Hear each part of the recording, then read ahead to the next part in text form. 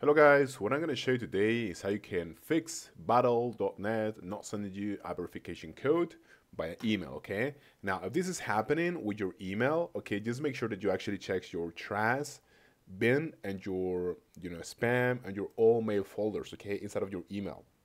So the first thing is that you make sure that it's not here and give it enough time actually and refresh the page, okay, until you can see the, the code.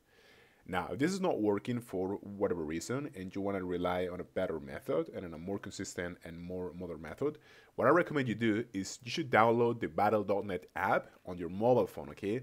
And what's crazy or what's good about this is that this is similar to the Steam app in the sense that you have an authenticator, okay, which is going to give you codes, okay, in which you're going to be able to log into your account, okay, when you're doing this from your desktop, for example, okay? So let's say that I want to log into my account this is gonna say that I'm gonna get a code to my mobile phone and then I'm just gonna be able to copy paste the code okay? So just download this battle.net app here and enable your authenticator okay which is to be on the main menu. Just go for to authenticator now.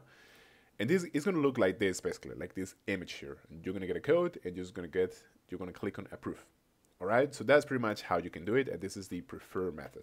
Thank you so much